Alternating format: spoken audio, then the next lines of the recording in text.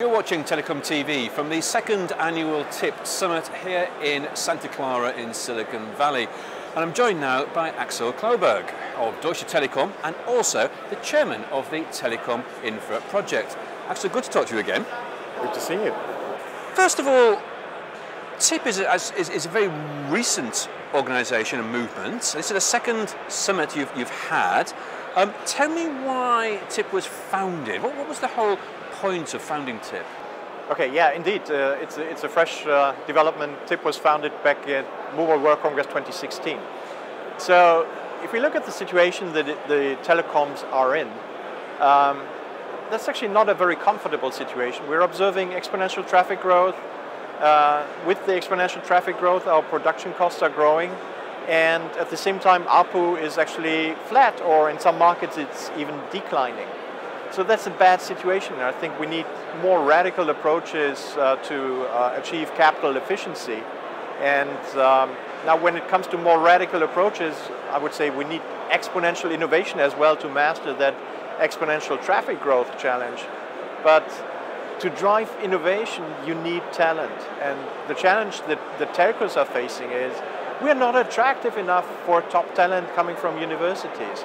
Yeah, back in the 80s and early 90s, the telcos were still attractive. That was the time when mobile networks were built. And uh, that had changed over the 90s. The vendors became attractive.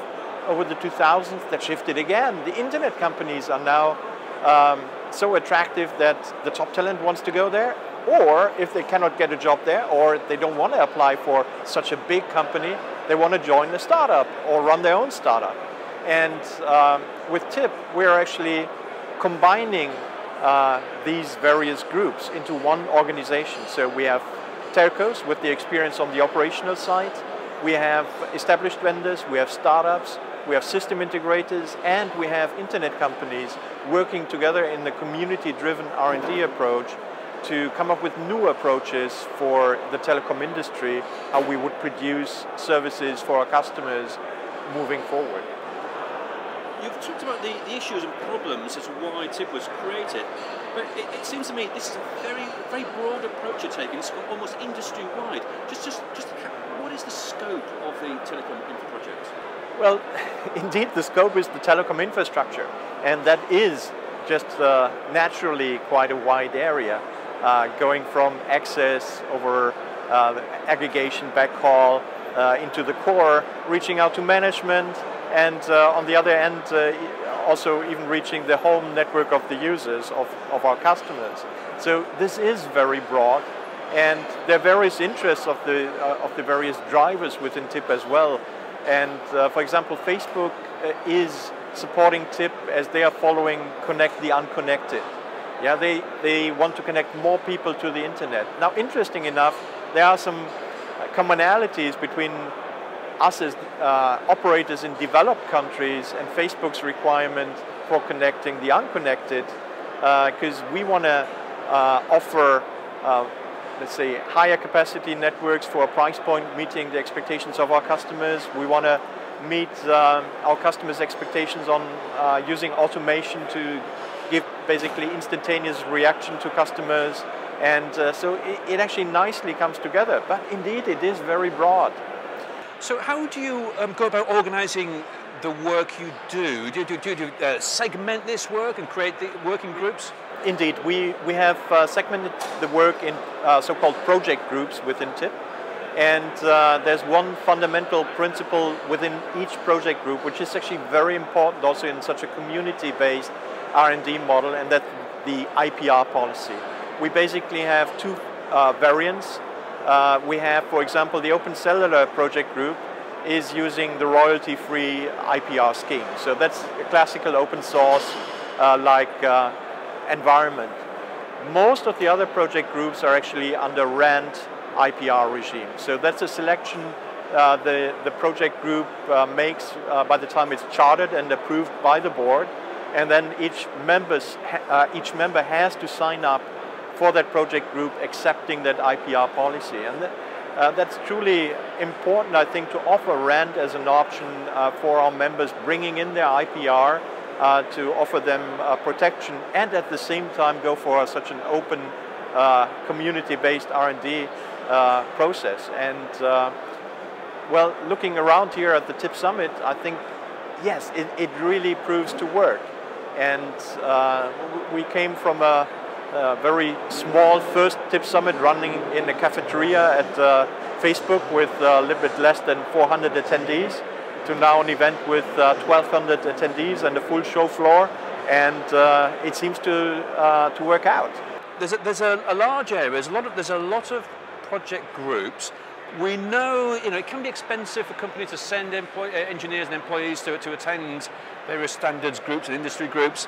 I guess what I'm guess, getting at is, it, is there a concern of, of like an overlap of work or there's just too many different si silos of, of, of development work and how, how do you either either collaborate with all these other groups or or, or prioritize I guess and say maybe we'll, we'll, reduce focus over there and we'll, we'll do this ourselves yeah well um, this is indeed a, a difficult situation especially for smaller companies for smaller operators where should they focus their resources uh, and the question I receive quite often is, is TIP replacing traditional standardization organizations?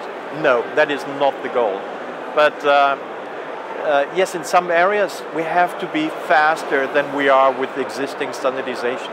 But uh, the, the telecom industry is based on open has to be based on open standards. If we are losing the global connectivity, that would be a nightmare. So that's a key part. Uh, it was a key part for uh, 4G. It, is a key part for 5G, and uh, that's not going to change. Still, uh, we have some areas. Let's take the millimeter wave uh, project group as one example, where we are uh, bringing together on one side what Facebook had developed in this space in the unlicensed spectrum with the mesh approach.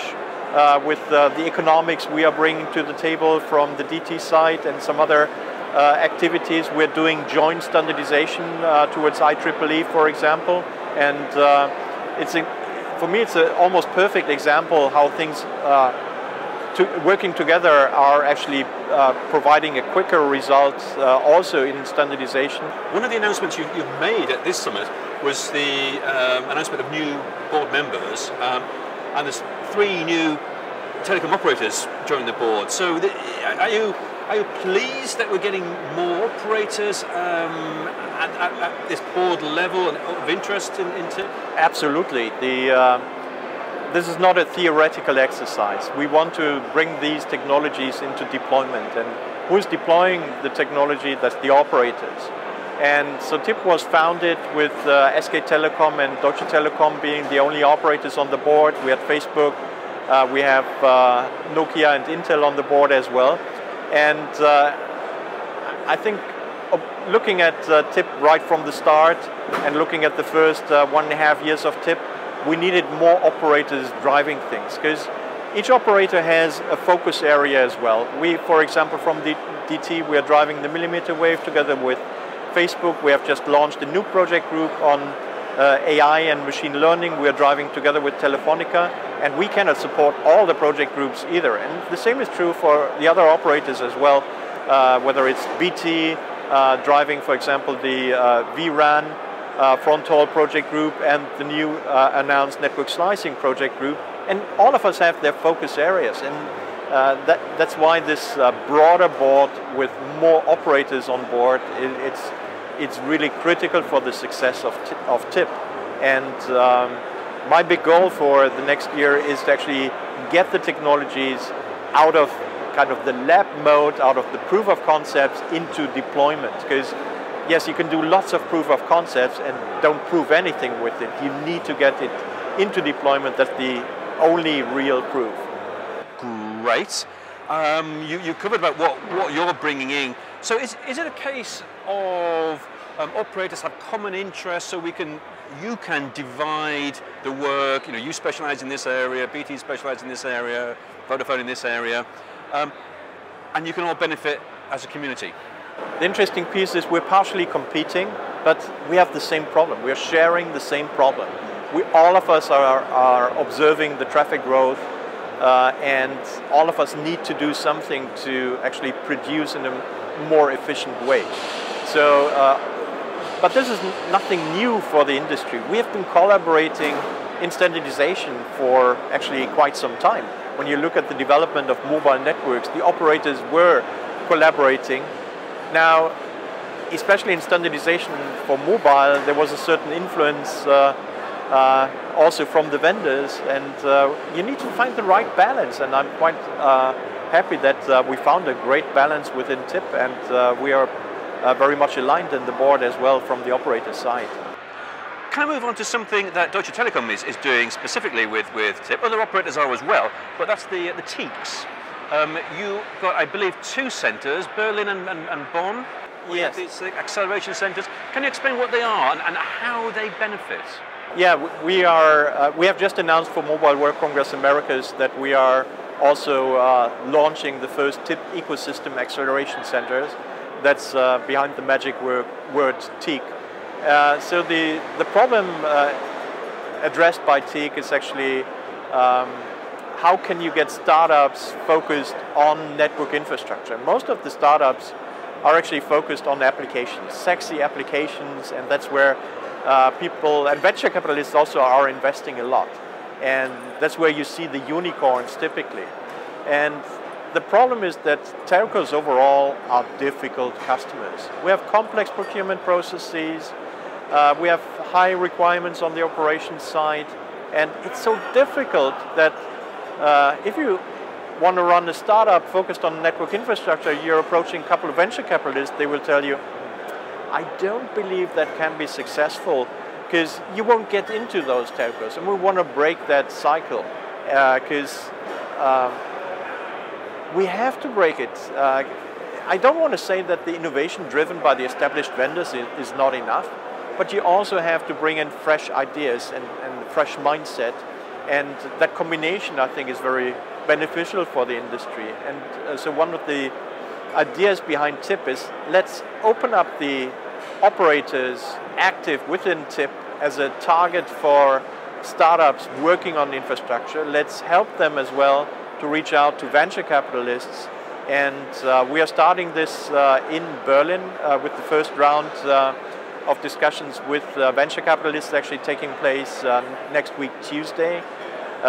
and um, we are extending this then uh, to Bonn as a second location as well, because when, when we look at the European geography, Berlin is obviously a little bit closer to the east, and uh, and uh, Bonn is a little bit closer to the west. So I think that's a nice combination, with also uh, DT's headquarters being in Bonn. One of the new project groups that you've announced at the summit this year is the Artificial Intelligence and Applied Machine Learning project group. What is the thinking behind that? Why, why does TIP need to get involved in this area? Network management is one of the main problem areas for us as operators. And um, we, we, all started to go uh, for new approaches using, for example, big data based uh, event management systems. Uh, but the next part of the automation is also the automatic remediation and automatic fixing of problems as as far as you can. That's where AI uh, technologies play a key role. Now, it's interesting because uh, when you look at the internet companies, they have all invested for 10 years or 15 years a lot of uh, manpower into the, the automation of their production. That is not the same as what we are addressing here. So that, that's also the explanation. This was driven by two operators, Telefonica and DT, because we, we, are, we have a similar problem among the operators, but it's completely different from the problem an internet company has producing their services. And for me, it's great because this is the first example for an operator-driven uh, project group, uh, and um, I'm, I'm, really looking forward to that. Great, and I'll come on to my, my, my, final question now, and that is, we, we exist for our customers, um, to customers who, who, who power and support our businesses. So, how, can, can we link in the customer experience? I mean, what, what, is, what is TIP doing that will ultimately provide a better experience for our customers, whether consumers or enterprises? Yeah, when you look at uh, the use of uh, AI technologies in network management, we want to fix a problem which might uh, arise in our network before the customer actually discovers that there is a problem. Yeah, today a customer has to report a problem and then it takes some time. Sometimes we have to correlate uh, various customers are reporting similar problems before we can actually fix it. And that has to change. The internet has, has changed relevance for our customers. It became life critical. There's no uh, phone call anymore if uh, the internet is not working. So we have to, to treat this differently and AI uh, plays a critical role here. Great. Axel, thank you very much indeed. It's a pleasure.